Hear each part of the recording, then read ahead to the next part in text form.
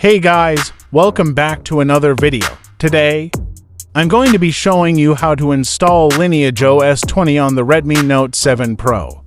Lineage OS is a custom ROM that's based on Android, and it's one of the most popular custom ROMs available. It's known for being fast, stable, and feature-rich.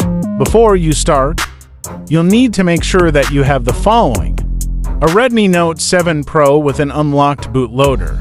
A custom recovery installed on your Redmi Note 7 Pro.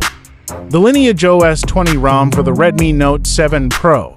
A USB cable to connect your Redmi Note 7 Pro to your computer.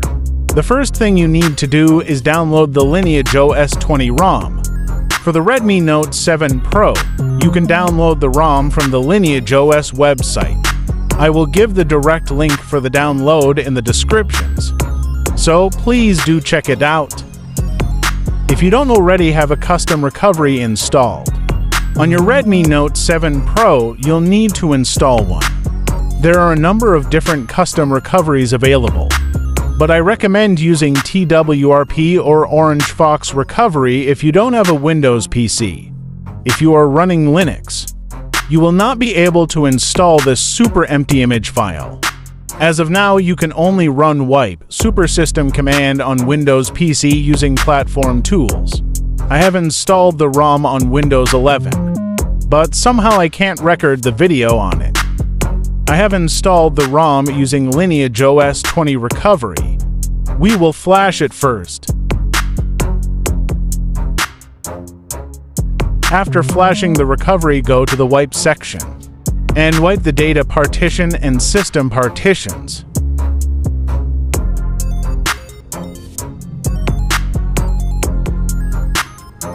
After wiping both partitions, just boot your phone into the fast boot mode again and flash the super empty image, using the following command. As I already mentioned, you can't run this command on Linux PC. For this command, you need platform tools on your Windows PC to run this command. Or you can directly flash super empty image using TWRP or Orange Fox Recovery.